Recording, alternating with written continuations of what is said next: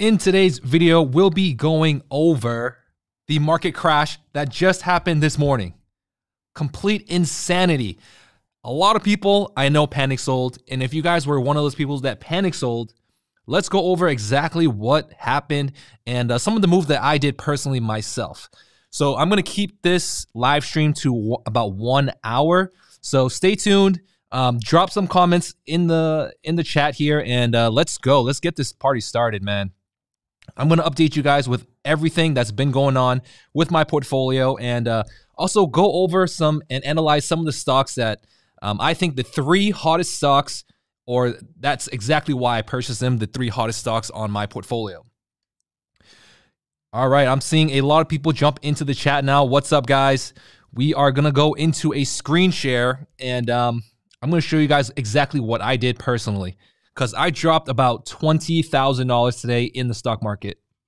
So, you know, I'm not going to uh, beat around the bush. I bought the dip, and this morning it dipped so hard, and like emotionally, I wanted to panic sell. That's me personally, but being in the markets for so long, like the last three years, I've been in the market. I've experienced the the biggest crash last year.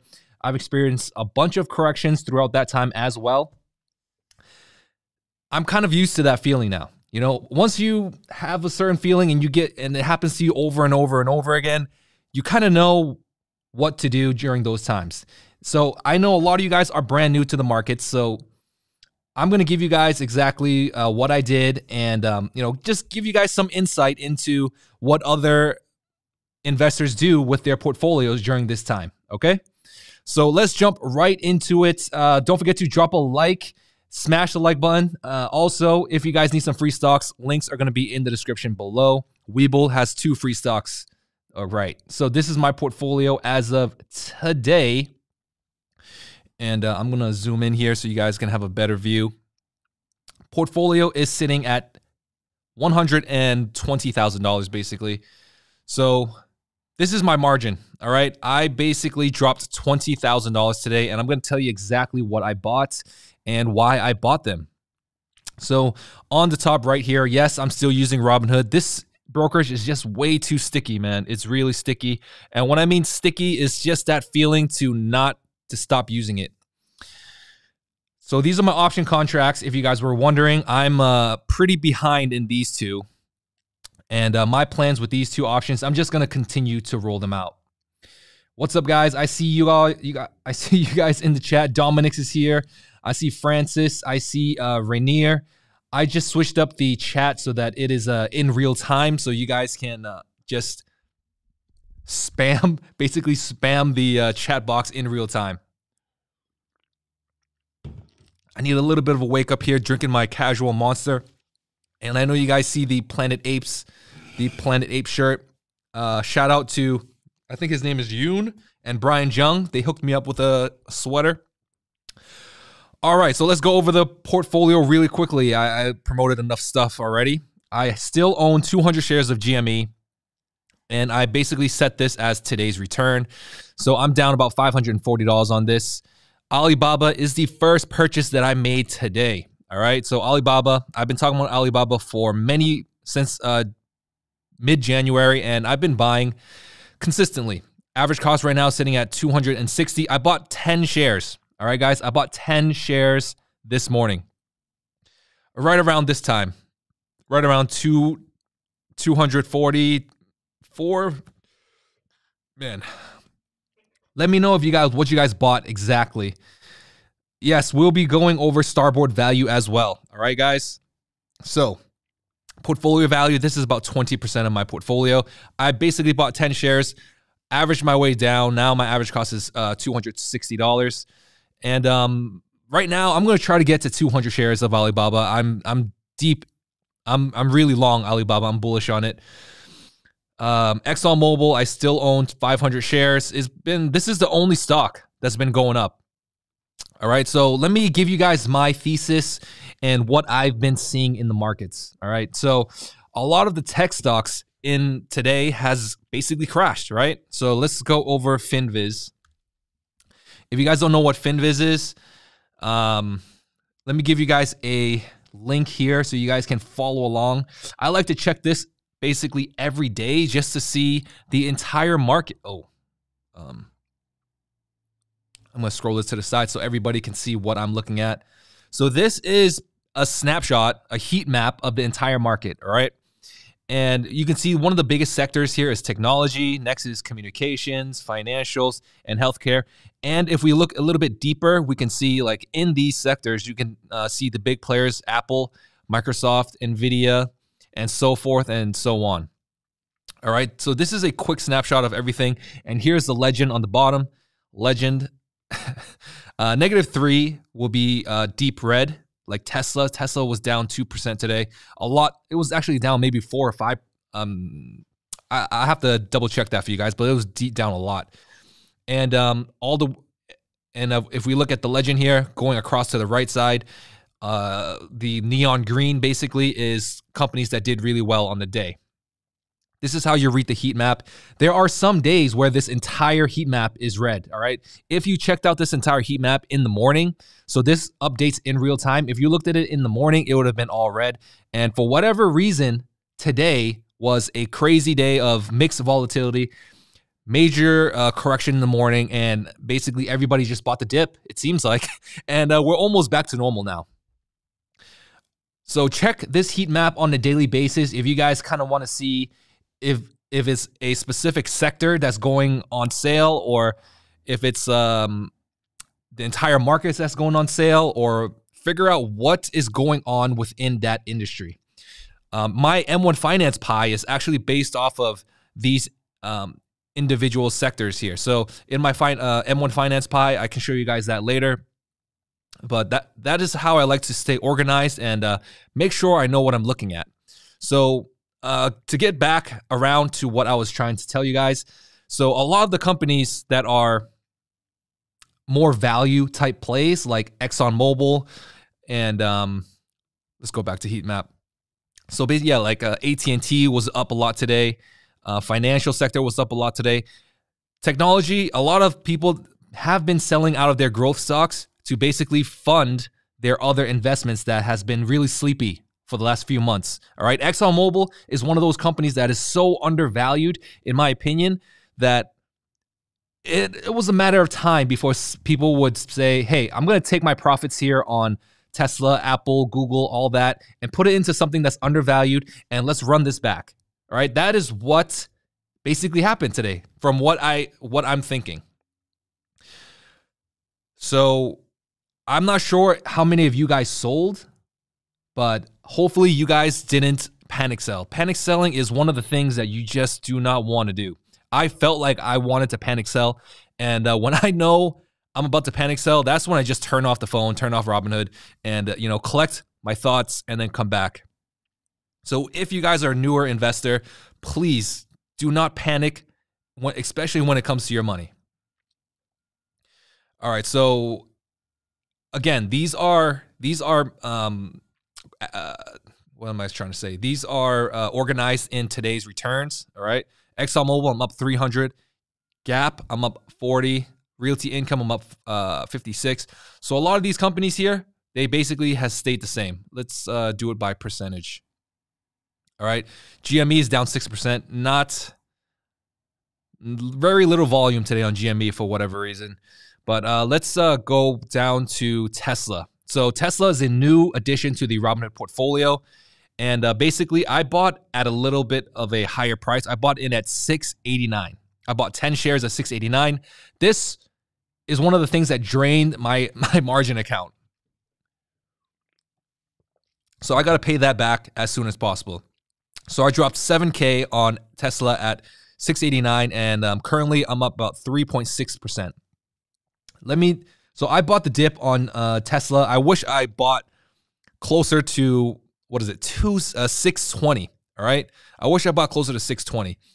Like for anybody that has been buying Tesla over the last month or so, let me know what was on your mind when you were buying Tesla at 800, 700, and not buying Tesla at 600. What was on your mind? See, this is a lot this has a lot to do with psychology, in my opinion. When you see your investments continually just go down and and you don't really know what's going on, you're panicking, you you want to sell because you don't want to lose your entire investments.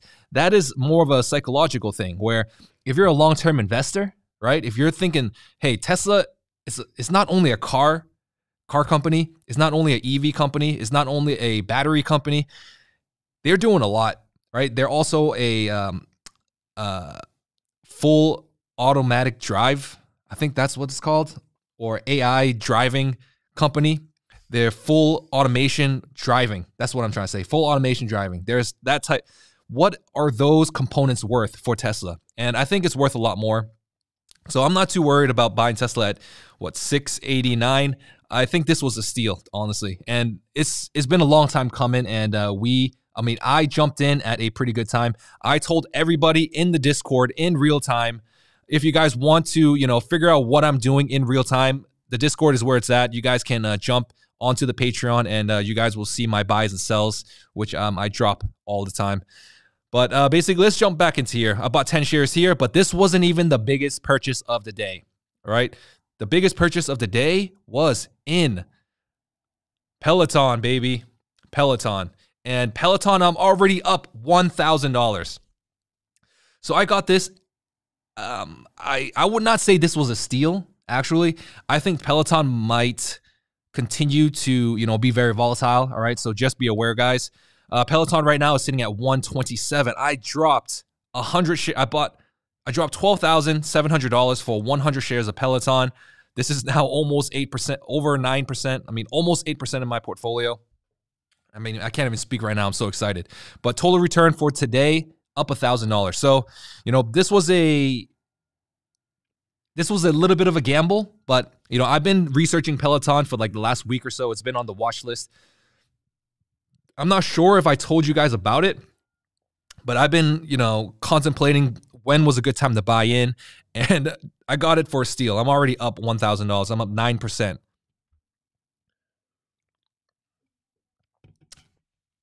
All right, so I'm going to jump into the chat.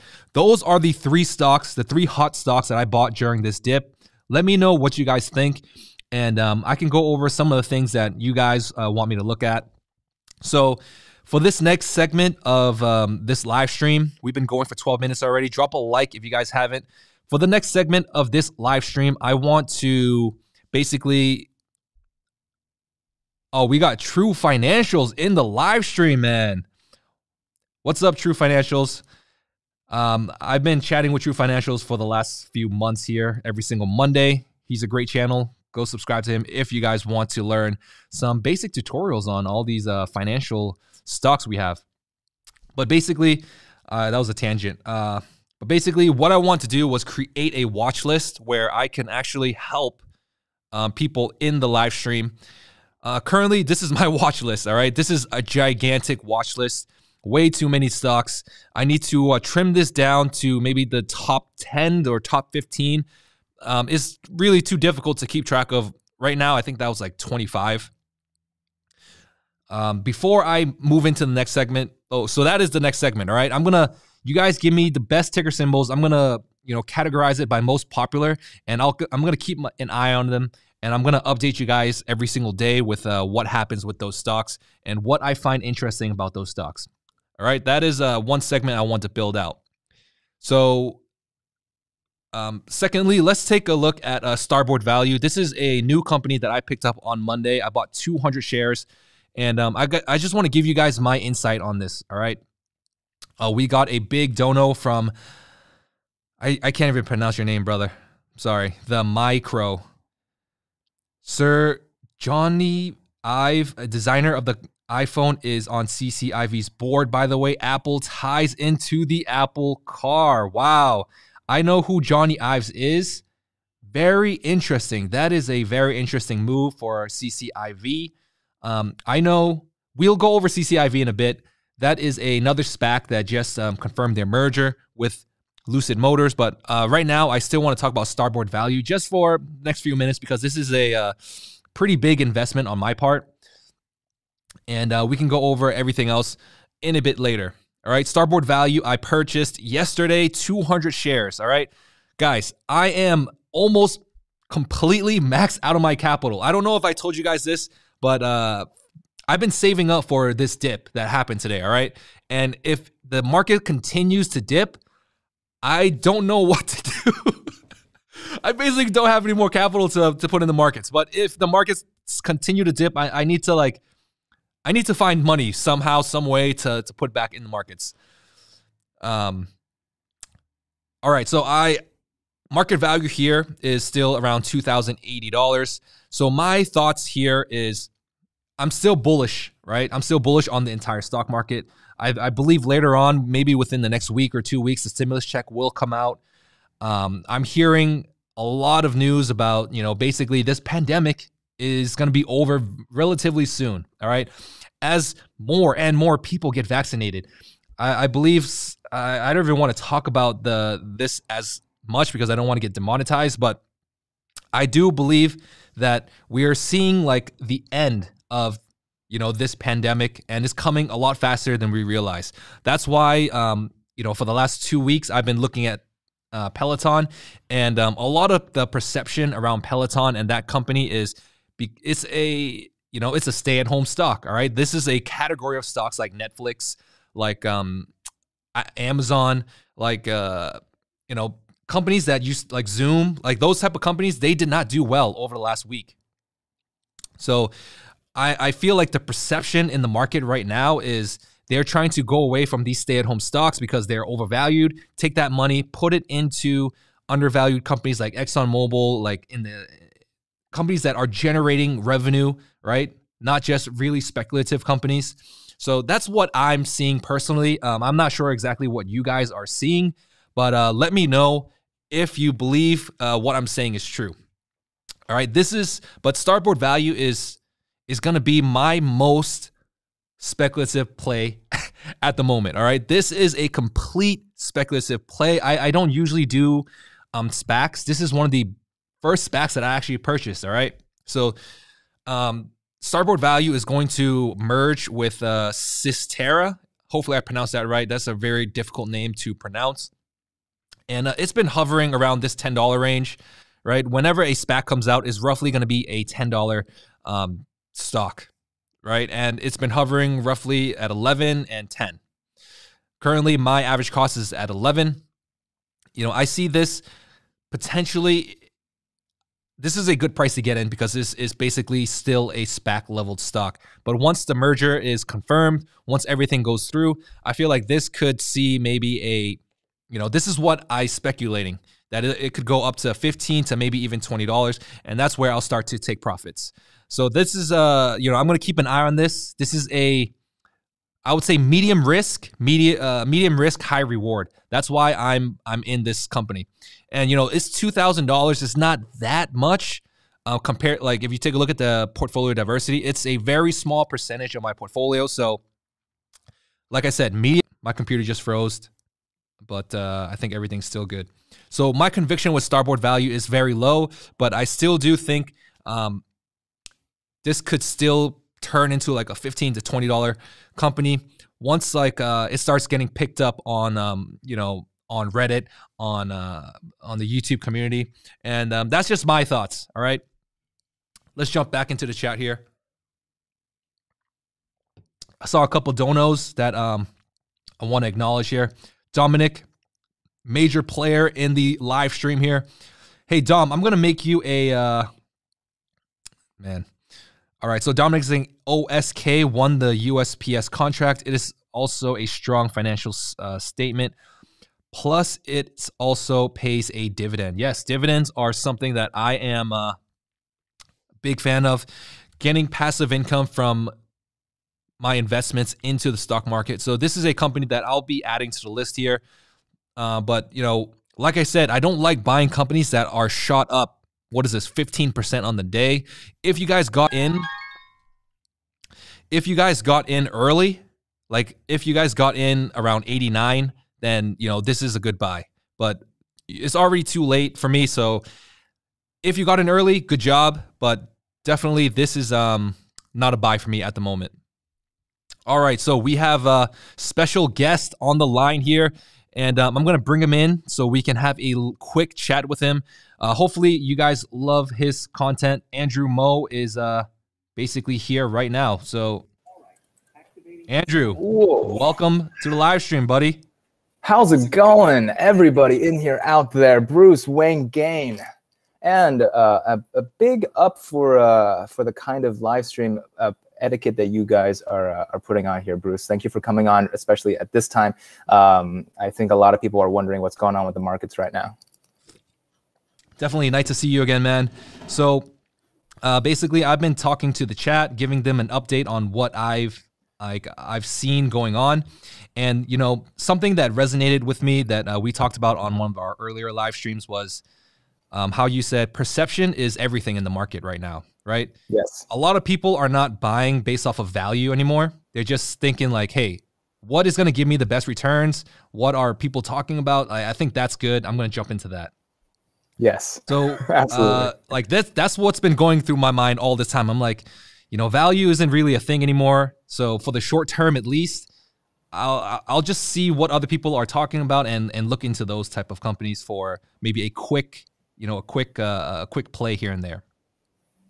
Um, I think that that's like one of the biggest uh, tropes of the investment world is that like everyone's kind of like lemmings. You're really looking to see uh, which way is is the wind gonna blow, and wherever it is, you're gonna end up uh, burnt if you try to one catch a loose train. Uh, a couple of stocks actually ended up going up pretty high today. Um, uh, of course, a lot more stocks ended up uh, dipping and, and seeing a huge sell-off. Uh, and uh, and the other side of it is trying to uh, catch a burning, uh, trying to catch a falling knife is also a big uh, dramatic problem as well, as well as trying to move around a lot, especially in the time of this bubble. We talked a lot about uh, on my live streams today about exactly what is the danger with trying to move around right now. Where um, if this is a market correction or if this is um, just uh, a big scare uh, by larger institutions. Either way, it doesn't seem like it's quite over just yet.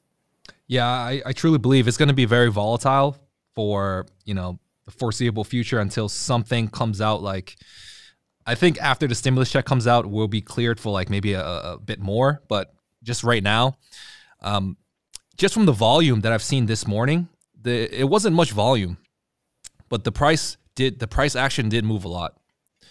Um, what what what have you seen with uh, GME or AMC? Uh, I know you you love covering that on your channel. I do love covering the good old AMC and GME. Uh, so far at market close, AMC is up another 15% on the day. So that's a 15% up from the day before. Uh, I was measuring the different levels of support, uh, technical support and technical resistance. Uh, and the stock, the price that I was hoping that uh, AMC was going to burst through today was uh, $8.08. That was a previous level of resistance. Um, so not quite yet on the money. We got pretty close, up 20% at one point on the day. Uh, and uh, and one of the, the, the main takeaways on on AMC was that uh, it was still strong even at market close. Um, it is now tumbled uh, four percent after the market uh, in aftermarkets, but before it tumbled, it was doing really well. Uh, it's even as market closed, there was a whale that came in and snapped up a couple of AMC's right before market close. Was there a catalyst that um uh, for this movement? Because seventeen percent that's pretty that's pretty crazy for a day like this. There was yesterday. Uh, the New York governor said that all movie theaters uh, in New York City are going to be able to open at 25% capacity. That includes AMC, uh, boosted up a good amount that day, up 15% yesterday, and uh, and today the news keep rolling in. In fact, every single stock on my watch list has been red today uh, on the day, except AMC, uh, which was up a crazy amount. Yeah, I never, I did not get into AMC.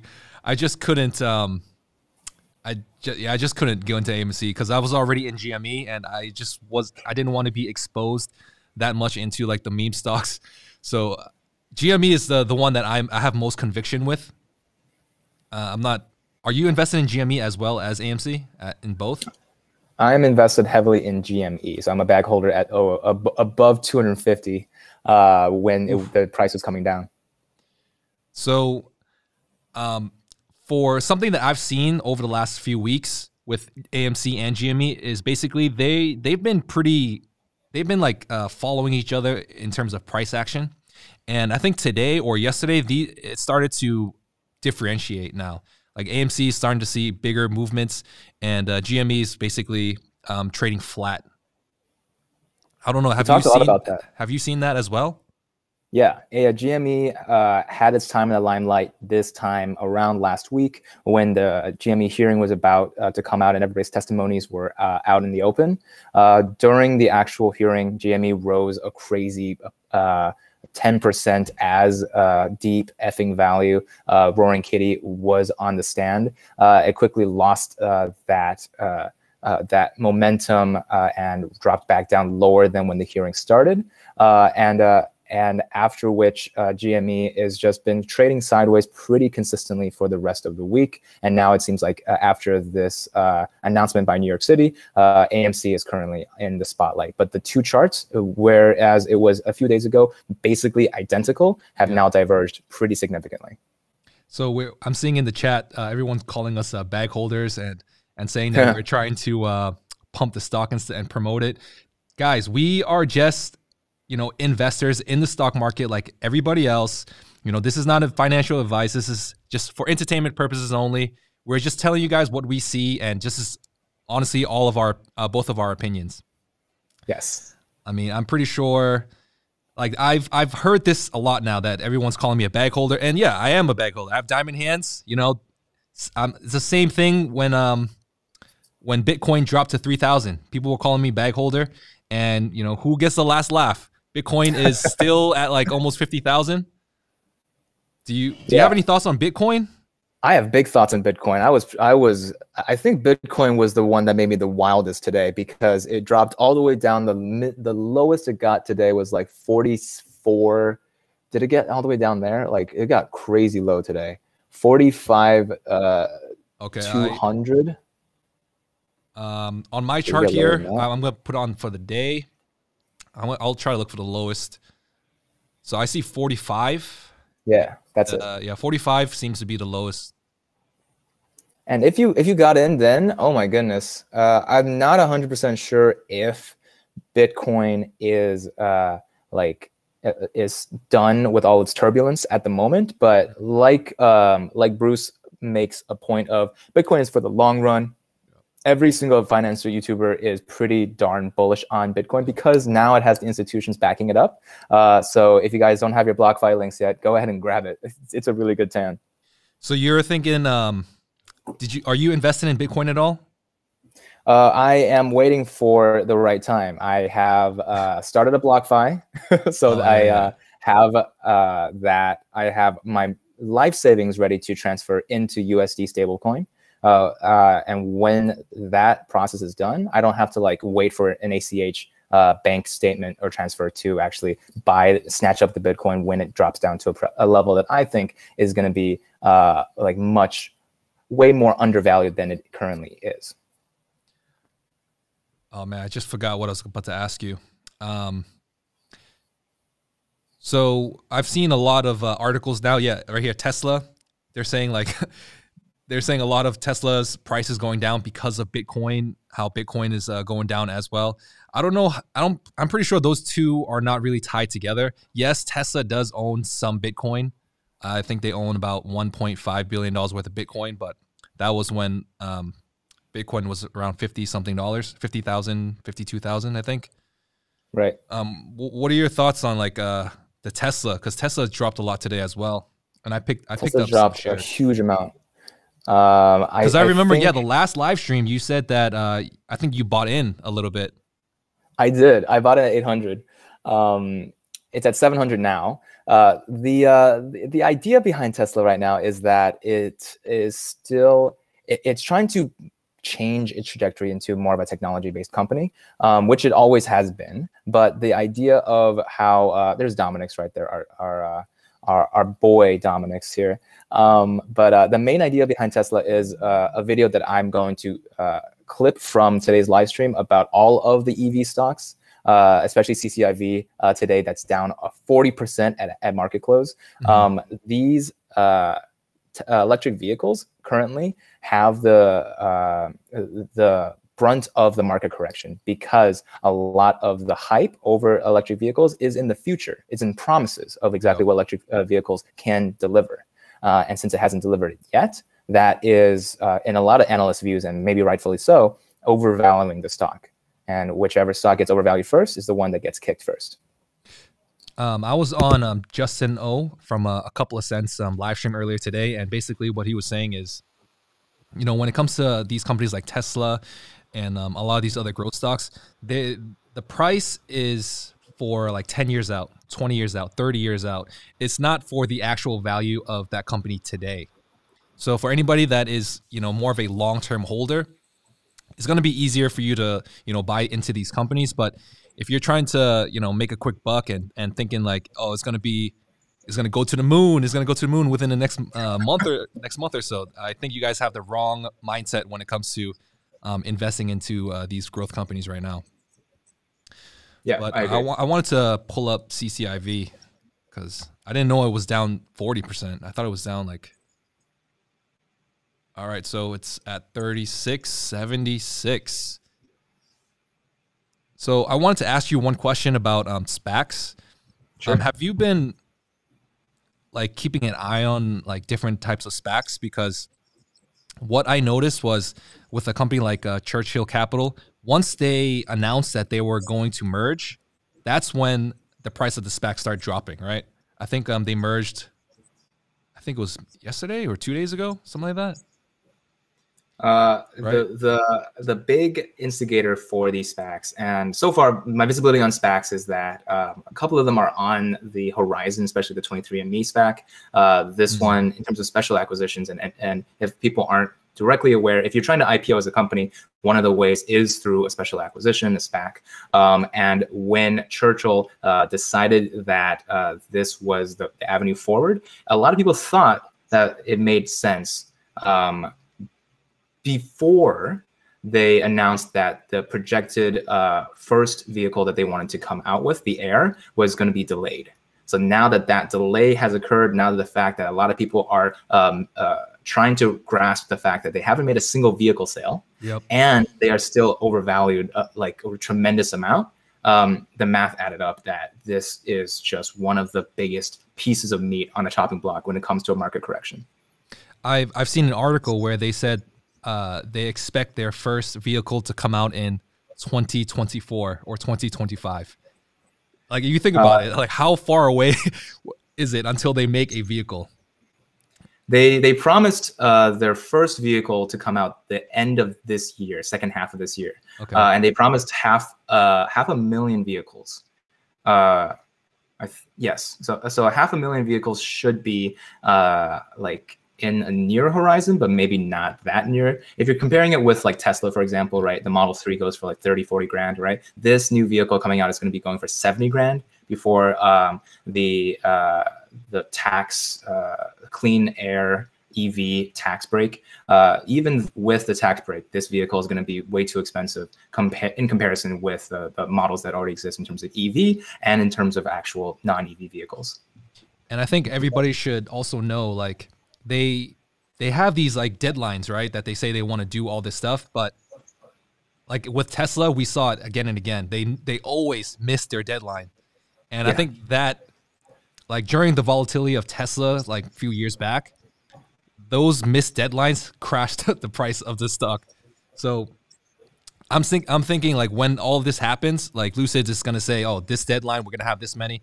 It's not. It's not gonna be true. They're just projecting it, and they're gonna see a lot of setbacks, I believe, because they're a new company, right?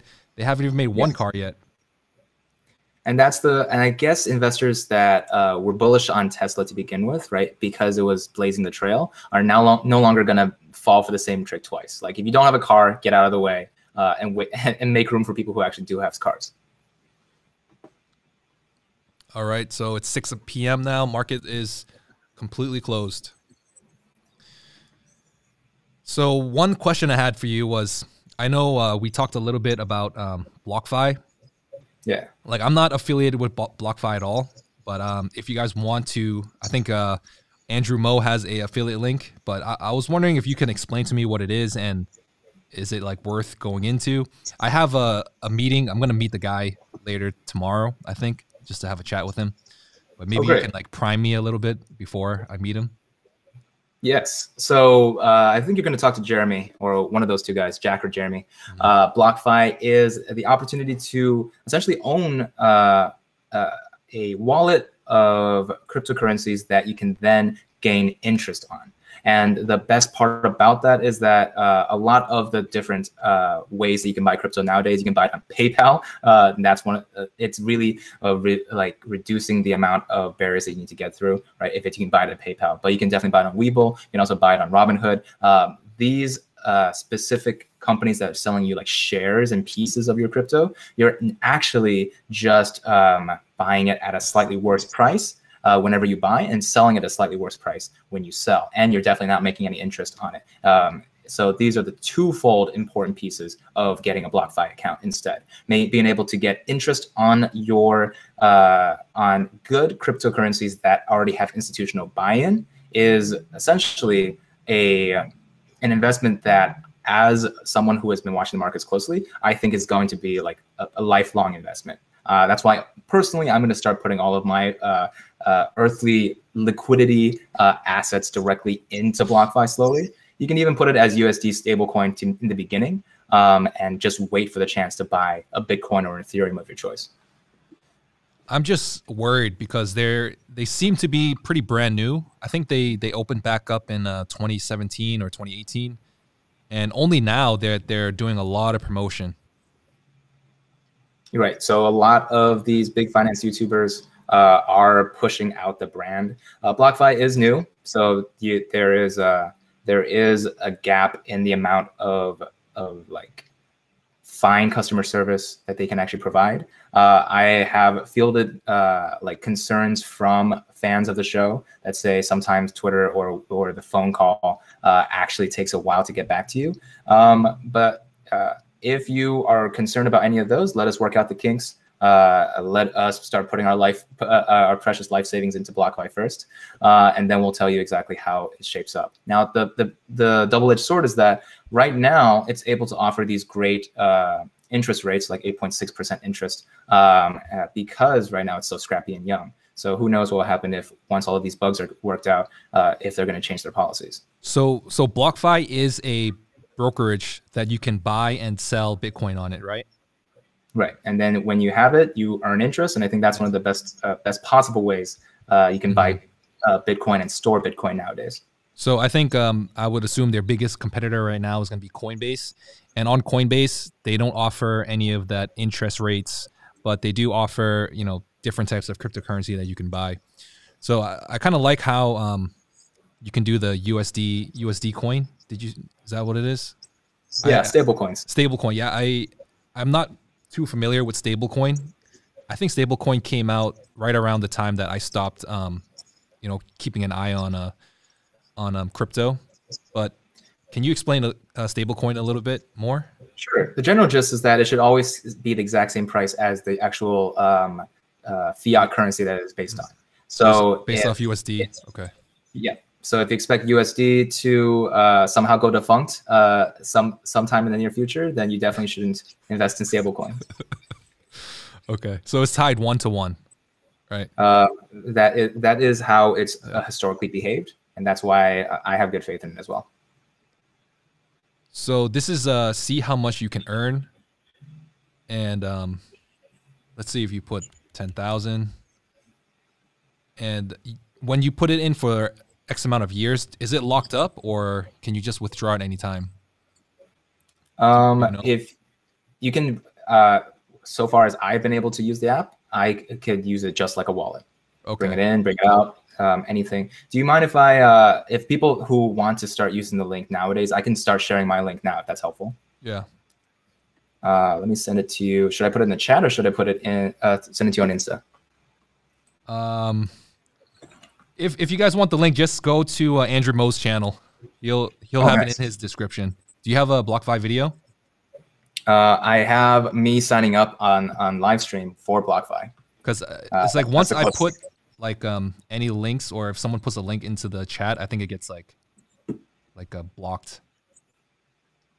Uh, blocked. Let me let me send it to you on Instagram. But yeah, BlockFi seems to be it seems to be really interesting. Oh, we have 1,012, uh, 1,200 people in here. Welcome, guys. We are uh, looking into one of these new brokerages uh, when it comes to cryptocurrency. Um, go give Andrew a. Uh, if you guys are interested, um, that is uh, Andrew's link. He just explained exactly what BlockFi was. Thank you for that. And uh, hopefully you get rewarded for that too. So if um, so this is borrow money at rates as low as 4.5. So you can borrow money too. Okay. You don't have to sell your crypto to get cash. A BlockFi we let you borrow funds against your crypto assets so you can get a loan. 4.5 is kind of pretty high when it comes, yeah. but it is a crypto asset, so it's more volatile. Exactly. Buying on margin is always uh, a tricky play. Uh, and uh, and you should only try to, to borrow money you don't have and invest it if you uh, actually know what you're doing. Yep, that's a, that's that would be a stretch still a little bit, right? People can still lose a lot of money doing it that way. Yeah. All right, so this is uh, yeah, this is pretty interesting. I can't wait to uh, meet the guy tomorrow and talk about this.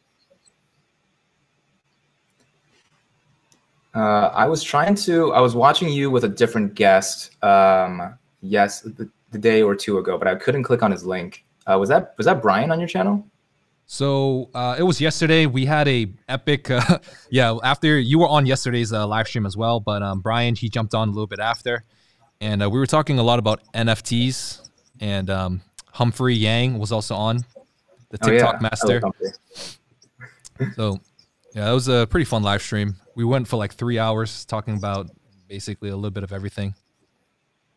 I love that. This is just like little talkbacks, uh, like s- small ecosystems where you can just like chill and. I mean, I like this is I like to ha- have you ever seen Joe Rogan's podcast? I've I've uh, obviously I know about the uh, Elon Musk meme, right? Uh, I think if I watch a single one of his podcasts, I would probably start with that one. So, like, I watch a lot of him. So I, I like that vibe where you know people can come into my live stream, and we can have a conversation about you know investment topics. And like, if I have a question that I don't know something, I ask you, or if you have a question, you would ask me. And you know, like my concerns and everything, it's going to be pretty in line with a lot of uh, things that my audience is going to also be concerned about. So I think mm. you know they're living through me talking to you know other experts or in uh, influencers that have experience in uh, this field. I like that. That's actually a really a dope uh, way to go about it. How did you uh, start your investment journey? I've always been curious. So, let's see.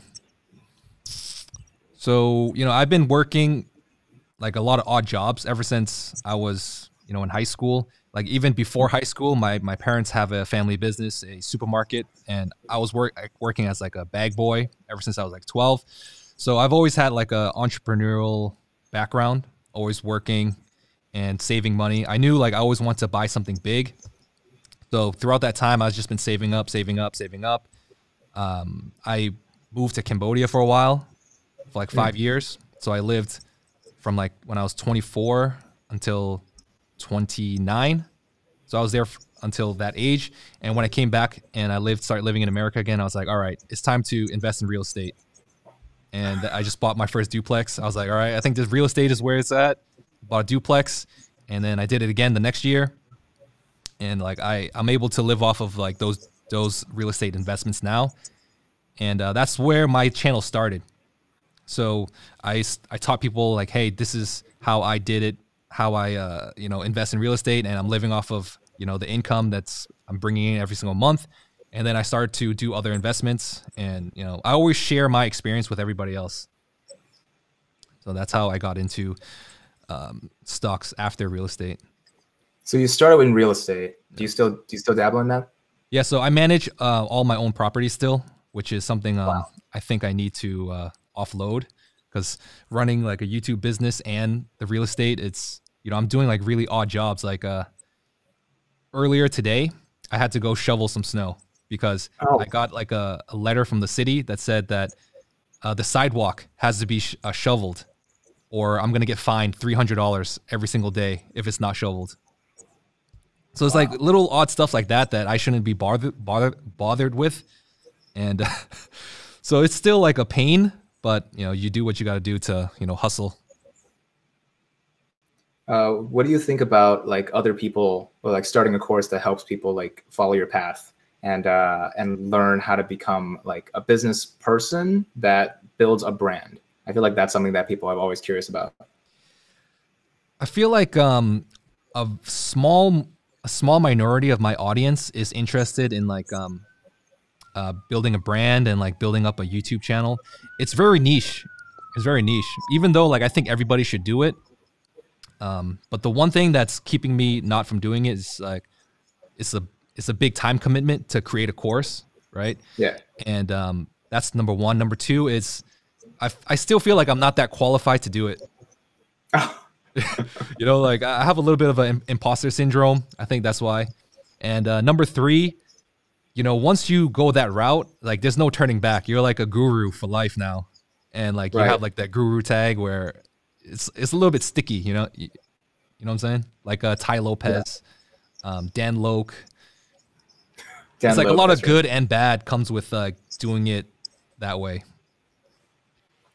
I, I think What are your that I think that that's like I think that that's like important uh, caveat when it comes to uh, actually building out brands because if if it turns out that um, like you wanted to educate and then you can't shake that guru tag uh, even if you're trying to like do something else with your life later uh, that is it is one of the the traps you can fall into as an educator right um, you could either build a course uh, entirely free on youtube uh, and people in tech have ch- have done that time and time again. People in finance have done that time and time again, um, and and that seems to uh, stick the non not a guru but just a YouTuber tag right on top. So you're gonna be creating a course for free? Is that it? If if if you do, you can escape the guru tag because you never asked a single person to pay for that course. Um, uh, and I think that that's a different path to go down, right? You could try and have have YouTube pay for the course in terms of ad revenue and in terms of affiliate links and sponsorships. Yeah, I feel like that's what I've been doing. Like every single one of my videos previously to like all these live streams was like a very um a condensed course where it's like on one topic. But now like I'm doing live streams, it's a little bit more casual, a little bit easier and uh, less stressful. Yeah, I'm sure. I, I, I've tried so hard to adhere to the strict deadlines back when I was trying to do a 30 day challenge. I was trying to do like a video every single day, and they were like scripted, like topic based on like research. And every single day, I had to make pump out a, like a 10 minute video. That was rough. You you got to batch it. You got to Batch batch it. Yeah, Yeah. You can't just do I tried doing it every single day. I can't do it. it's like meal prep. You got to be like uh, the celery goes in this box, and the and the scripts go in this box. But one one thing I want to ask you is how how do you put out so much content? Do you have Oh. an editor? No, I don't. It's all self taught. Okay. uh, I uh, I picked up Premiere one day. I was like, this is terrible, but I guess it'll it'll work. Um, and uh, and the uh, the when I was back doing the third day challenge, I had uh, my best friend and roommate Hector. Uh, he was the one that was really helping me like clean up the videos to begin with, and then I would add all the special effects. Um, so beyond uh, scripting, filming, uh, and then finishing the the final product, I did have a lot of help from uh, a good friend of mine. So there you go.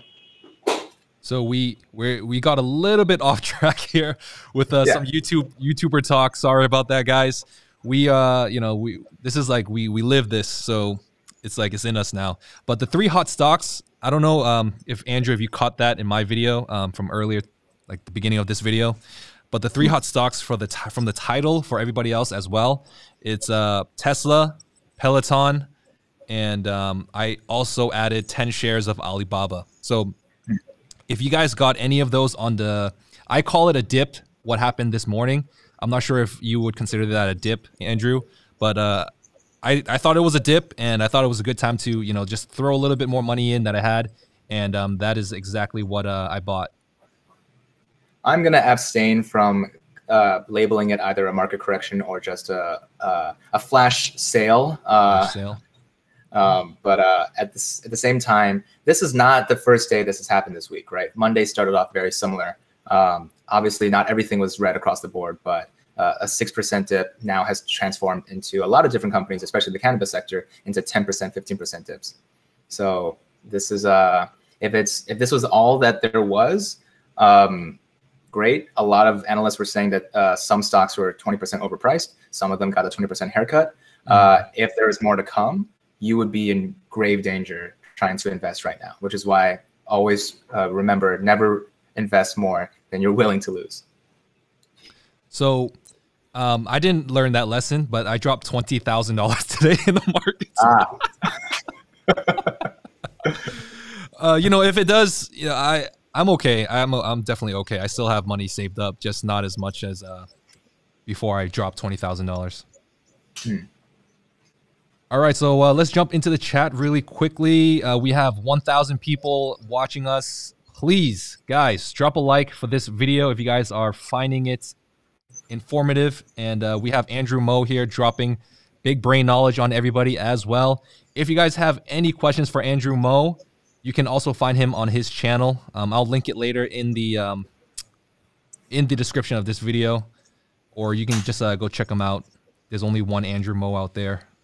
Only one Andrew Mo out there. Well, there's a couple, but they're uh, I, I'm now slightly larger than them. All right, so we have a super chat. Let's go. Thank you for the dono. You have to go look at Twitter. Uh, it will make your day. Hmm. I, I, don't know, man. I feel like you're baiting me right now. Ihor's.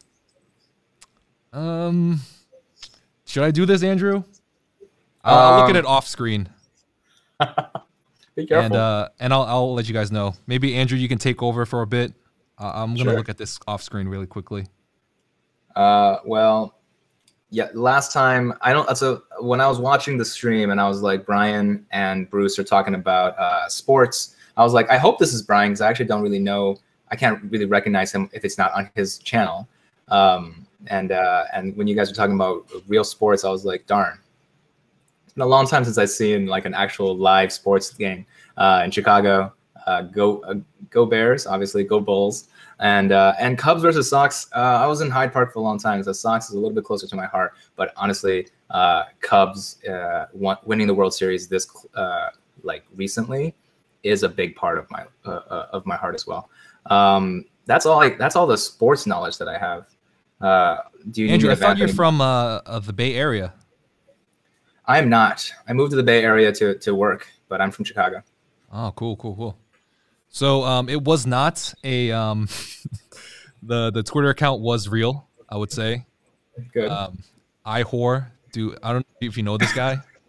See real time short interest. So I think Andrew would know a lot more about like the short interest and short squeeze from a data scientist perspective. So the short squeeze on Tesla has been, uh, you know, a, a Nostradamus level of it's going to happen soon for a very long time. Uh, if you guys aren't familiar with uh, with shorts generally, it's uh, the opposite of holding a long position. Uh, it's just, just just imagine buying a stock and then the opposite version of that. You're hoping that the mm-hmm. stock value goes down, uh, and uh, and whereas a long position, regular buying of a stock means that you could lose uh, all of the money you put into that stock, but no more. A short position is that you could lose up to infinity money in case the price of the stock goes up to infinity, right? So that is the main uh, risk reward ratio for a stock. For companies like AMC, that was projected to run out of liquidity uh, at, by uh, this time, 2021, um, a lot of the hedge funds decided to prey upon it and short it so that if it does go bankrupt, they make a ton of money. Um, unfortunately, AMC decided to not go bankrupt, and that is where the short squeeze started. If a lot of people decide uh, that the shorts are not being covered, so a lot of people have promised a lot of other people uh, stocks that don't exist, uh, we can try and increase the price of the stock so that we the shorts get increasingly harder to cover. If that doesn't make sense, I have so many uh, different videos on my channel talking about dog food and exactly what uh, an easy to understand for dummies version of what a short squeeze actually is. So you were talking about the short squeeze that could still potentially happen with AMC. Is that it? Yeah. So FINRA okay. report back uh, a few weeks ago now uh, put AMC up at 15% short. uh, float percent, which means that um, right now, uh, if you compare it to like Volkswagen from uh, 08, uh, that squeezed a ridiculous amount, but it was only at 12%. Uh, it's very comparable, these two numbers, right? Anything above 10 is going to be in the squeeze worthy range. Now, the same report that came out for GameStop was at 78%. So imagine uh, mm. the amount of shorts that were uh, not covered yet uh, for AMC. There is roughly six times as much in GameStop. So basically, um, what's this guy's name? Brandon He's letting us know uh, that this guy is spreading some information about uh, short interest from a bunch of different companies here. And uh, we just talked about AMC. Short interest is roughly around 17%. And uh, yeah, GME is roughly around, from three hours ago, around 40. I mean, 25.82% from the S3 SI percentage float. Yeah, I feel like um, the GME train is is slowing down a lot over the. I thought Monday it would reach 100 after what happened with uh, Deep Value and how he doubled down his position, but for whatever reason, um, it did not move the way everybody thought it would. I think that so one of the big methods of actually like uh, ruining a stock's momentum is with the FOMO method, right? So institutions could do this, uh, YouTubers can accidentally do this. But uh, when I was covering a uh, GME nonstop for the last couple of days, probably was good for it. Uh, but as soon as I started covering AMC as well, uh, that became uh, another stock that people could sink their their money into instead of GME. So in that sense, some of the commenters got rightfully angry that if you stop covering GME, uh, it's kind of like when you stop believing in someone, they stop existing, like uh, like a, religion or uh, or an imaginary friend. Uh, that is the same for momentum when it comes to stocks. Yeah, I think a lot of the people that have already lost out money on like GME, AMC, the wheat stocks, they're they're really lost right now, and um, I think that's another reason why the market's been, uh, uh, you know, they they've shaken out a lot of these like paper hand people, a, a lot of the the loose loose leaf guys that you know they really don't know what they're doing. So that's I think this morning was really good for for the market overall. Uh, definitely a lot of, of stocks are now on heavy discount. Uh, I'm not too happy that uh, my three shares of Tesla, uh, I bought at 800. Uh, I didn't foresee that Tesla was going to uh, go ahead and do another 10% dip. Um, but it could have stayed at 620, which would have been a lot worse than where it is now. Uh, I only wish that I bought at 620. That would have been really cool. I mean, what um, was it like a psychological thing, or did you not just weren't paying attention to it? Like, why did you not like uh, buy it? Uh, it was because I was live streaming, and this is my oh, excuse okay. for the, for uh, almost every time I, I end miss up missing out on Bitcoin, I end up missing out on Tesla, miss out on like on everything because I was like, oh man, I'm live streaming. How do I buy this right now? I'm just gonna buy it from now on, even if I'm live streaming. I would um what I do is I know like with a Robinhood, like if I if I did a buy right now, it would like show my email address and show like how many letters on my on my password. I would just buy it on my phone and I'll just oh. leave the oh. screen up. So you can do that. That is a good that is a good idea. Yeah. There's Dominic's. What's up? Dominic's always uh, trying to make the most of his dono. The thing yeah. with uh, Volkswagen is that 12% SI was the outstanding shares. In 2008, uh, Porsche raised their stake up to 74%, leaving the float to. God. I, ha- I had a feeling that Dominic's was going to say this. Leaving the uh, float to become 1%. So from 12 all the way outstanding shares, that makes a short percentage of float ratio to 120, 1,280%. Yeah, that's a really important point. That uh, when people simplify the, the, the connection between Volkswagen uh, and and what's happening now with GameStop and AMC, it's not that simple. Uh, uh, I'm glad that I'm I get to wear his his face on my shirt because Dominic's is a big guy. This is you, right, Dominic's? This is who this is who you are. Uh, I honestly like uh, that just went over my head. It was like a bunch of like percentages and more so it was because um, uh, when Volkswagen squoze, uh, Porsche and uh, the, the, German government had a big uh, play uh, in getting the uh, company back on, on a specific track, either way that the company, the specific government wanted. So a lot of mumbo jumbo aside, it is difficult to compare Volkswagen, which happened in 08, to what's happening now in AMC and GME. All right. I mean, I don't know too much about um, the Volkswagen squeeze other than like it was compared a lot to GME over the last like month. And um, basically everybody in GameStop was thinking that it would happen exactly like uh, Volkswagen happened. But um, yeah. you know, Volkswagen, I mean, uh, GME only reached 400 at its um, highest price range until Robinhood stopped them, or a lot of the other brokers stopped as well. Uh, let's jump into the chat. What's up, chat? What's up, chat? This is probably gonna be my last uh, minute and a half because uh, I have someone coming to fix the AC. so that's coming. That's gonna happen in about 10, two to three minutes. All right. So we got um, 1,200 people in here. What's up, guys? Andrew Mo's here as well. He has three minutes, so make the best out of this. If you guys have a question to ask, you can ask him right now before he leaves. Maybe he can uh, answer a good question. GME, it does seem like it's a split in the room. A lot of people are saying GME's dead, and uh, the other half is saying GME is not over. For me, I'm I'm neither, or I'm really neither. I'm right right down the middle. That's, when you can uh, when you can hold diplomatic position to have. Yeah, when you can hold and like it doesn't matter, you're fine. I heard news yeah. of GME that um, today they are looking for a new uh, CFO they oh. for their uh, transition or transformation of their business.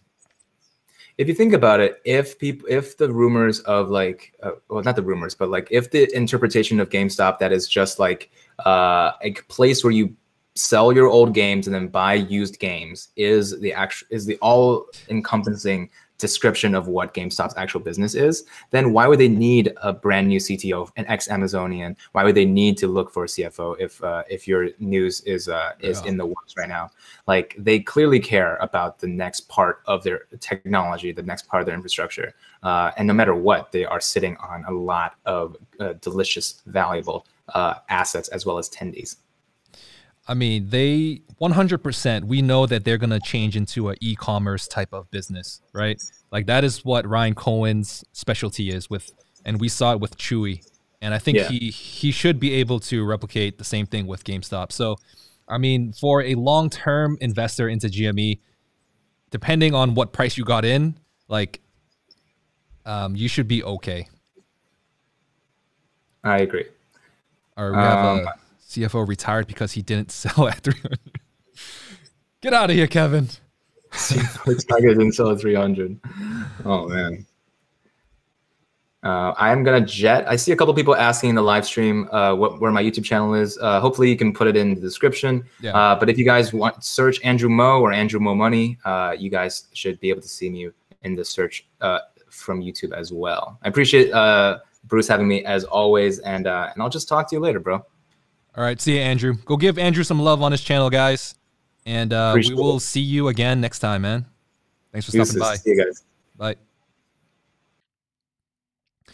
All right. Thanks, Andrew, for jumping by. That guy is Big Brain. If you guys are wanting a data scientist perspective on the stock market, he is uh, definitely um, the only data scientist that I know. So uh, we are going back into the chat. We've been live for one hour, guys. Um, you know, we already went over, you know, the stock market crash and why I think it wasn't a giant crash. All right, it was like a little bit of a dip, and uh, why I thought that happened. Um, secondly, we went over the three stocks that I think were really hot today. If you were able to buy in, um, like Andrew said, and like many other um, of the people that I've been following, um, I want to say we, if you bought in this morning, you know, a lot of people are saying it was like a 20% discount. Um, I'm seeing in the chat that um, people are talking about Brian going live right now. Kevin is saying Brian is live. Uh, yo, Brian is alive. Oh, he's alive. Yes, he's alive. He was on last. Uh, he was on yesterday's live stream, and we went over a lot of stuff. If you guys are missing Brian, go check out the last live stream. Uh, he'll give you a quick update of exactly um, his trip from his trip from the mountains. Dow futures on bloodbath alert. That is not good. Anthony, welcome to the live stream. So, you know, I, I'm not ex, ex, that experienced with like uh, reading um, CBOE futures, but, you know, we can definitely.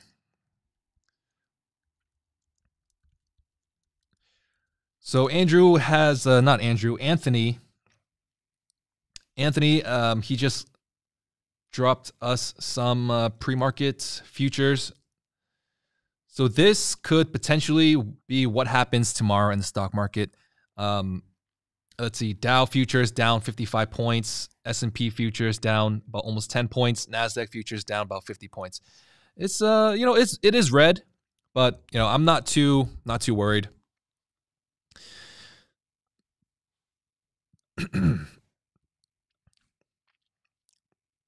You know, we, there's still a lot of love for the meme stocks.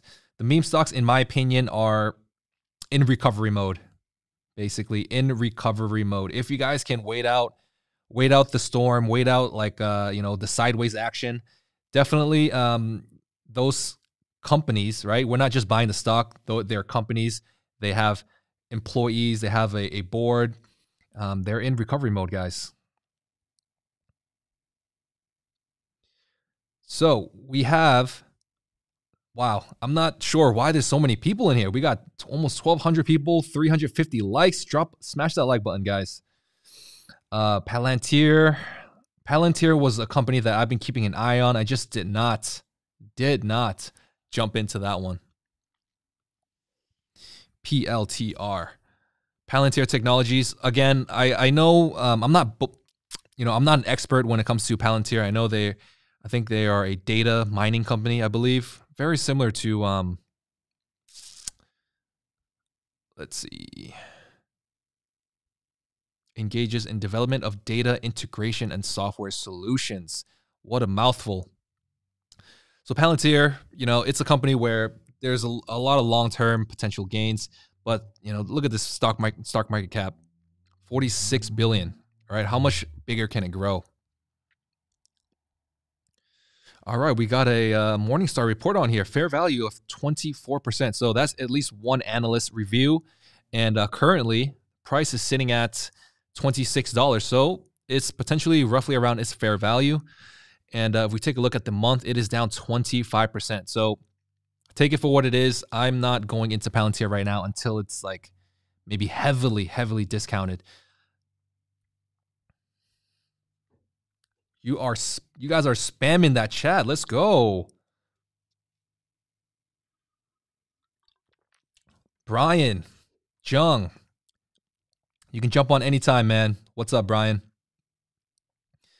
We are going over a lot of we've already went over GME and everything. GME has been trading so flat like it's it's like the same old story happening again and again and again. You can only say the same thing about GME so many times before you kind of have to move on. So I might be one of the rare guys that are really uh, seeing green on today. We're up 0.28%. Let me know if you guys are up today, if you guys are down. Just spam the chat. I kind of want to see uh, gauge where where everybody's at with that. If you guys are up big, let me know. And uh, again, don't lie. All right, there's really no no reason to lie here. And uh, in the meantime, I will be going into uh, Wall Street bets. Let's see if uh, I like it. I like to see if uh, Deep Value posted anything today. He's the only person I come back to Wall Street bets for. We got somebody that's down. Ooh. Yun Ping is up 15%. Let's go. Dom up 8%. Let's go it seems to be pretty mixed. Some people in red, some people in green. Uh, blue, uh, green. I was gonna say blue. What the hell? We have eToro that's down. That's why I like to be diversified a bit in the brokerages. I have the Robinhood account, I have the Webull account, the M1 Finance account, and in between all of those, it's gonna be hard for everything to be. Uh, damn, Lewis, RIP to your portfolio, down 90%. What are you buying, bro? All right, so you guys can uh, see for yourselves. Like everybody is, uh, it seems pretty mixed. Um, definitely do not panic. I'm pretty sure it's not a time to panic when it comes to the stock market and um, what it happened today. For anybody that's brand new into the markets, remember, guys, this market is going to be very volatile from here on out. Make sure if you're invested right now, make sure the companies that you're invested in, you have a high conviction. Or if you don't have a high conviction, make sure you have like a fat, you know, like cash reserve. So, you know, you can buy some dips here and there, or you can withstand the the volatility and the red days. so I'm just gonna do a quick glance here to see if um, there's anything that is brand new that's well worth looking into. So, um, so one thing with Conan O'Brien. Okay, guys, I finally caved and bought stock in GME. Wish me luck. Can Conan O'Brien, the comedian, help turn us around? Let's go, Conan. Welcome to the team. Guys, I'm not promoting GME. I'm just a guy talking about it. Let's go up 28%. I bought seven. I bought 700 Tesla calls when the price was 640. Let's go. RK, you must be one of the smartest in the bunch. I personally did not want to um damn, that was actually a really good idea. So for anybody that just jumped into the chat, we're talking about um some of the companies that we are up and down on. Tesla was one of those that I was bullish on and um today's dip, man, once it hit 600, I was like, man, how much further can it go? I had to I had to get in as fast as I could, and it took me a few minutes. I got in at 689 for 10 shares. I went into margin buying it, and uh, you know that's the end of the story. I'm up almost four percent now. If today was actually a good this morning, if you guys were not invested at all, this morning would have been one of the best times to get in. You know, I'm in a lot of uh, investment chats, investment discords, and uh, ooh, got a dono. Thoughts on TRCH? I will throw TRCH onto uh, here if you guys want to see, but I've never heard of this stock. Um, oh, what a surprise! It is actually down 10% today. Typically, whenever anybody asks me to look at a company, it's going to be up like 10, 20, 30%. So, man, I'm getting hiccups. So on the month, still up 56%. Um, it looks like it was a penny stock. Yep, it is a penny stock. I don't invest into penny stocks. Currently, it is uh, $3 market cap. I don't buy anything under a billion dollar market cap. All right. So these are some of the you know attributes of a company that I look for. All right. So if you are looking into a company that's worth less than a billion dollars, you have to know that that company could probably just go out of business very easily. You know, running a company on the that's on the stock exchange, it's no bueno. Not easy at all. All right? So, you know, from my experience, guys, stick to higher market cap companies, minimum at minimum 1 billion dollars. If you're looking into a company that you know, some people have more than 400 million dollars. Think about that. All right. You don't know, there's no track record here. All right. Like this company, like I could be completely wrong in 10 years from now. Torchlight could be one of the biggest companies on the stock market, but you know, mo like if we think about the chances, the chances are that is not.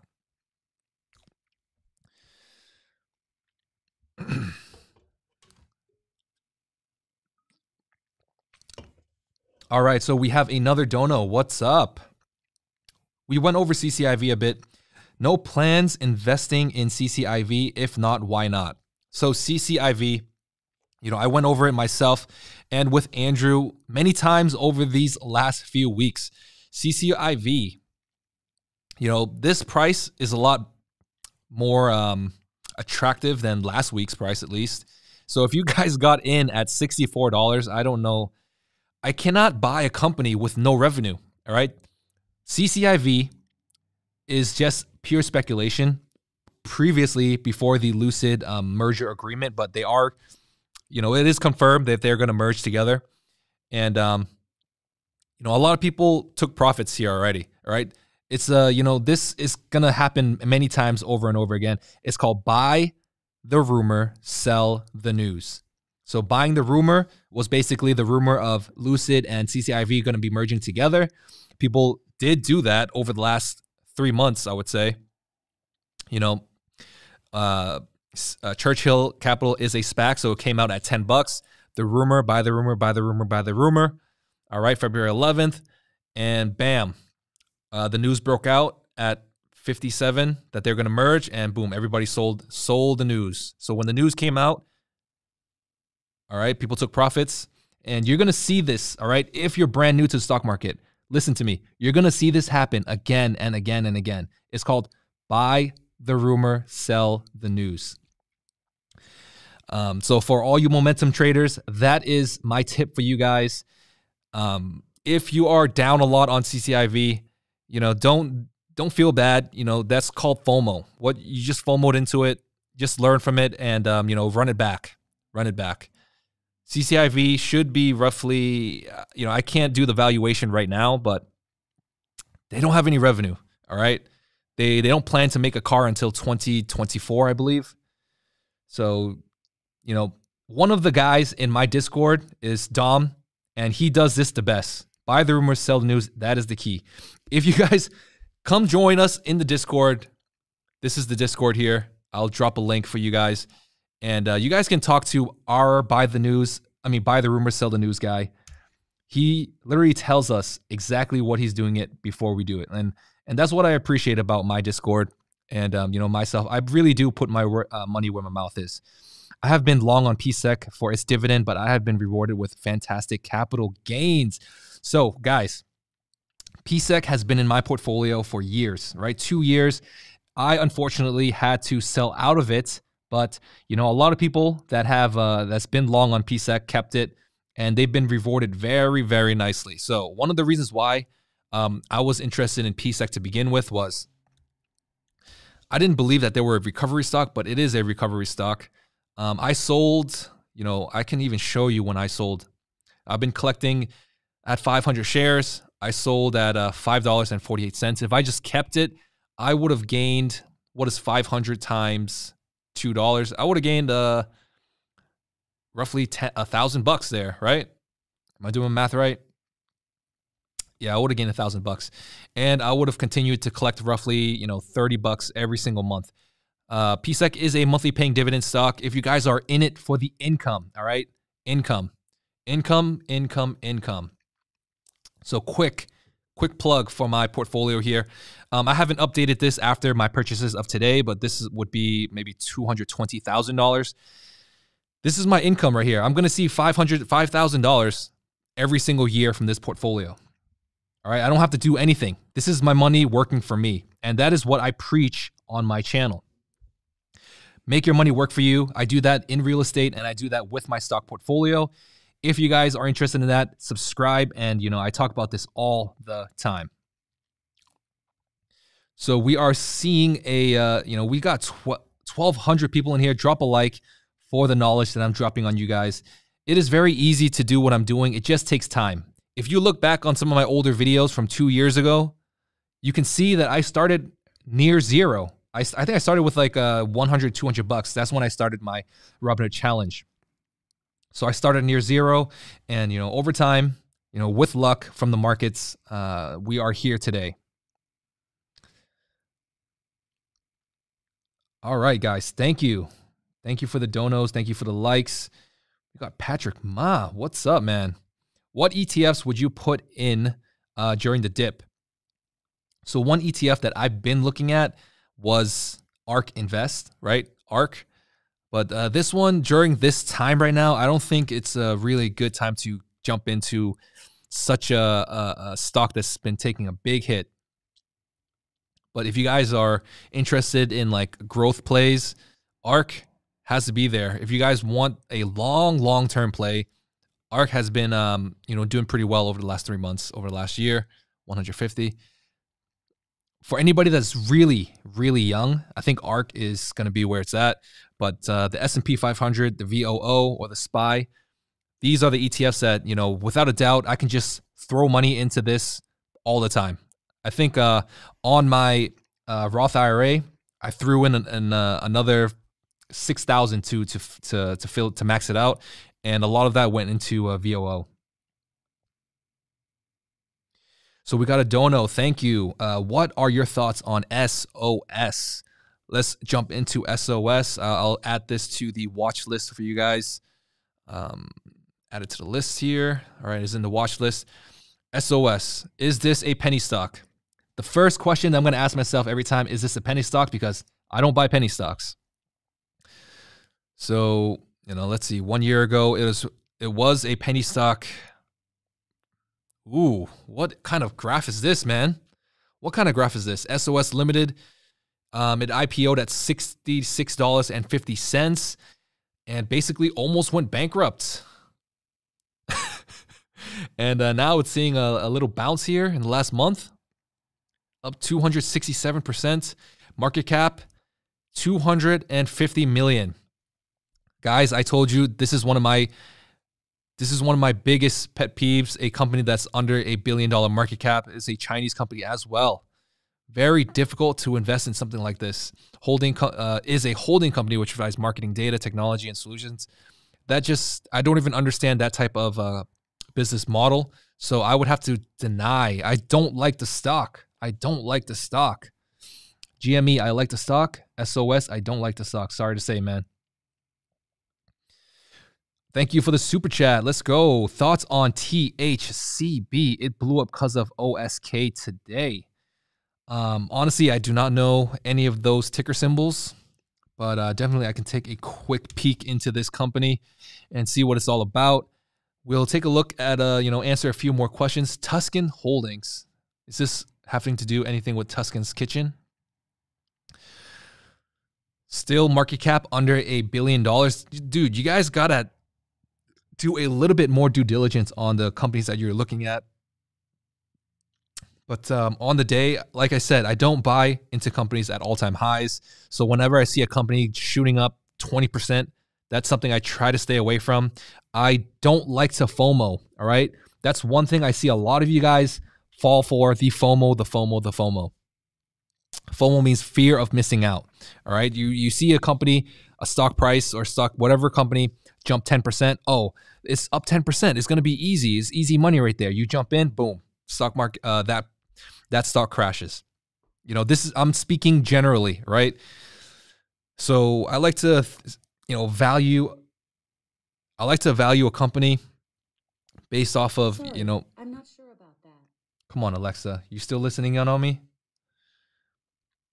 Um, yeah, Alexa's interrupting us right now, but let's see. Sorry to say, Tuscan Kitchen, I'm just not a fan of the stock. I don't like the stock. Do you have multiple Roth IRAs? I have um, multiple. No, I do not have multiple Roth IRAs. I have one Roth IRA. Um, I'm planning on opening one for my wife and for my kid. So, you know, I'm still working on that. Uh, thank you for the dono. My Roth IRA is on my M1 Finance portfolio. So this is, uh, you know, my M1 Finance account is in the links in the description. I can show you exactly my update with this. I was going to make a dedicated video to this, so uh, definitely stay tuned to uh, the channel if you guys are interested. Here it is. M1 Finance is a brokerage that um, I recommend for, you know, if you guys want to try something out different than Robinhood. Um, this is my portfolio. I just dropped in um, 4,000 today into this portfolio just to buy the dips and uh, if we jump into my Roth IRA, here we go. This is sitting at 22,000. And um, if we look at my cash, cash balance here is sitting at 6,000. So this will be in- implemented tomorrow. And um, this is my Roth IRA. If you guys are 18 years old, please look into opening a Roth IRA. When you're 60, you'll thank me. All right. You'll come back in 40 years and you'll say, thanks, Bruce. Um, I can't believe I didn't know anything about a Roth IRA, and I wish I opened up one sooner because you would be a millionaire at least by then. What is the deal with Dogecoin? So yesterday we saw the first of uh, many volatility, volatile cryptocurrency movements guys, I've been invested in crypto now for four years. All right. I've been invested in crypto for basically four years. I am so used to crypto just doing nonsense, right? Complete nonsense. If you're going to be buying Doge, don't complain to me that you're losing money, all right? I had to talk my grandparents, not my, I had to talk my uncles, my aunts, friends, please don't gamble. Like, if you want to gamble money that you can lose, all right, do what you got to do. Dogecoin, maybe, maybe not. I personally, my gamble limit was 30 bucks for this. I put in a 30. I already already profited. I took out my 30. And I'm still up uh look, $5, 30%. So I'm just playing with house money right now. I don't care where this goes. If you if you're willing to lose any money and you want to throw it in Doge, go go right ahead, but this is something, you know, I'm not going to throw in uh, heavy cash amounts. I know Meet Kevin did. I think he threw in like 30,000 a few weeks ago. But, you know, Doge is going to do this, all right? Every single time um, Elon Musk tweets about it, it's going to pump a little bit, I believe. Um, every single time, you know, a, a big influencer, you know, let's say if PewDiePie said he's going to buy a million dollars worth of Doge, Doge is going to pump. So just be, just really be careful about that. If you can get in early, um, you know, that's, if you got in in January, you know, you're, you're sitting, you're sitting pretty. You don't have to worry about anything. But if you got in February 8th, I, you know, sorry to say, you, you're most likely down a lot on your investment. All right, jumping back into the chat, I, we are in it for, dude, where are you guys coming from? We have 1,400 people in here. Drop a like for me if you guys are finding value from this. And uh, we are going over a lot of different companies right now. And um, I think Brian Jung was in the chat. Awesome. Patrick Ma, are you related to Jack Ma? I'm pretty sure you get that all the time, man. Sorry, I had to say that. Um, GME, the thread for Reddit GME is better thread. Um, I will definitely take a look at that, Patrick. Um, thanks. Uh, just not right now. Uh, we are. I'm in the chat. So recently, I mean, as of yesterday, I made I made it so that this chat was basically real time. There's no limiter on here, so whatever you guys are throwing in the chat, I'm seeing it in real time. AMC is definitely not going bankrupt. Don't worry about AMC going not going. AMC is not going bankrupt. So, um, one last thing that I kind of want to uh, touch upon is the Cruise Gang. Cruise Gang. So I've I've heard some news about uh, CCLV, which is basically Carnival Cruise. Carnival Cruise pumped a little bit today, up uh, almost two percent. Um, over the last week, it's up 17%. Over the last month, is up 37%. So anybody that's been, um, you know, invested over the last three months, you guys are sitting pretty. Um, obviously, if we look back to a year where it crashed, anybody that got in at eight dollars, you guys are sitting pretty. But I think uh, CCLV just got another uh, line of credit, and uh, again, fair value sitting at twenty dollars. What is the price sitting at today? Twenty six. So it's roughly uh, a little bit over 26, uh, a little bit over $20. So if you guys are planning to get into CCL right now, most likely it's not a good time. Maybe wait for another pullback if there will be another one. Um, definitely not easy to get in right now. Uh, do not FOMO into this. Um, if anything, just dollar cost average. All right, so Patrick Ma dropping some knowledge for us again. If you guys want some due diligence post, go into the subreddit of GME.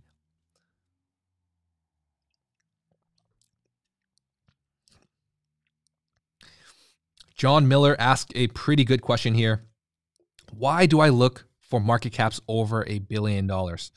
So, one of the reasons why I do this is because to get a company to a valuation of a billion dollars is already going to be one of the most difficult things to do for any company in any industry. Okay. So once you reach a billion dollar market cap, you're most likely your company is going to be, you know, you've hit you've hit it, right? That is the that is the, you know, status that you want. You want to be a billion dollar company. So once you're able to hit that, you know, you might be a unicorn company or you know a lot of tech companies are able to to do this and uh, once you hit it you're most likely going to be known as like a a more mature company right you hit that goal you you have that prestige of being a billion dollar company anything below that is going to be a lot more volatile, a lot, a lot more volatile. So I like to pick winners, right? I like to pick the best of the best companies. And every now and then I do like speculation. So for for most people, I think they should stick with companies that are, you know, the top of their class. And um, if you want to, you know, mess around with penny stocks, you can, but just make sure most of your portfolio is in uh, companies that are top of the class, and uh, you know, ETFs and index funds and stuff like that. Like a majority of my investments are in uh, ETFs that replicate the S&P 500. So I'm not too worried when um, crazy things happen in the markets. Um, I can buy the dips. Hopefully that answers a lot of questions for everybody. Um, bought the dip on Tesla finally. Yes, a lot of people has been waiting for this. Uh, me personally as well. Like my average cost, guys. My let me see if I could uh, come in here. Let me show you my average cost, guys. So I've been holding Tesla for long time.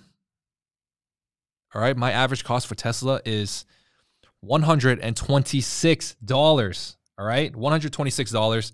So once I saw the bull run for Tesla continue to just climb up and climb up, I couldn't get back in. But today was the day for me, and um, I got back in at, excuse me, I bought back into Tesla at basically sev- just under 700 bucks. So for anybody that got into Tesla under 700, congratulations. Um, tomorrow will be another battle, and uh, hopefully, uh, hopefully we will uh, do a little bit better. So we got a super chat here from uh, Andy. Thoughts on its Beachbody SPAC ticker symbol FRX. Dude, you guys are gonna give me a little bit of dyslexia with how much um with how much ticker symbols you keep throwing at me. FRX. See, guys, I know it. I know you guys like the back of my hand. You guys are gonna throw companies that market cap under a billion dollars every time. Let's look back at the five year chart. This uh, IPO'd at January 5th, 15th, and it came out at $11 and um, $11.24. Big run up on January 16th. I'm assuming a lot of people FOMOed into this, jumped up 40%. If anything, wait for this to come back to a roughly around $11 and you can buy back in. You know, just, I'm not even looking at it. I don't even know what company this is. I just would not buy a company that just ran up 40%. I have no idea what this company does. But if a company jumps 40, 50% for no reason, I'm not going to jump into it without more due diligence and research. All right, I'm going to be answering some of these other donos, and uh, we're going to call it evening. I, got to make some some more content for everybody. So, quick update: I'm building out a uh, studio, a studio at my home. All right. So I'm to have this studio and I'm to have a live stream studio at home so I could give you guys more content, especially in the evening when I'm more free or early in the morning where I'm uh, also free. So I just spent like $4,000 making a studio at home. So I can't wait to premiere that for you. Most likely it's going to be done on Friday evening or uh, Sunday, uh, Saturday morning. All right, last dono here.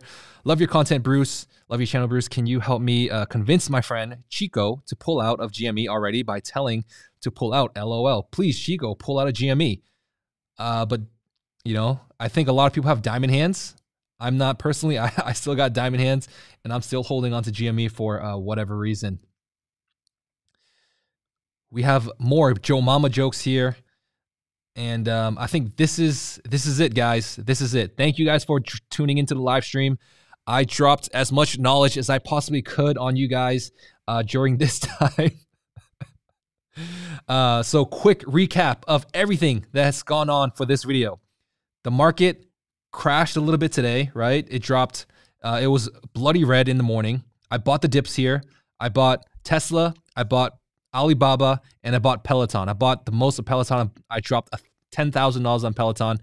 I dropped six thousand on Tesla, and I dropped like uh, two to two to three thousand on Alibaba. If you guys got in early uh, this morning, congratulations! You guys are probably up a little bit today. Uh, tomorrow is another day though, and uh, hopefully uh, it's less volatile tomorrow. If it does drop again, you know, don't panic sell. Panic selling is something you guys should not do. Make sure you stick to your plan. We have uh, some more donos here. How about uh, Silvergate Capital? Uh, James, I will do a. am gonna add this into my watch list, and I'll do a uh, update for next one. I'm gonna end this live stream right now. Yo, for the haters, uh, we got another dono here. The CFO for GME just resigned today. What do you think? Uh, we'll see this tomorrow. So this is uh, bullish news for GME. We went over this in today's live stream as well. Uh, definitely, um, GameStop is transforming into an e-commerce store. All and you know, Ryan Cohen. You know, he's no slouch. He knows what he's doing. He he brought uh, Chewy to a 40, 40 billion dollar company valuation.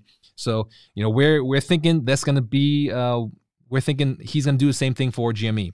And that's where I'm going to leave it at. Um, you know, if you guys missed anything, jump back earlier into this live stream and um, view everything. But thank you guys for stopping by. Drop a like if you guys haven't already, and I'll see you guys in the next live stream. Bye.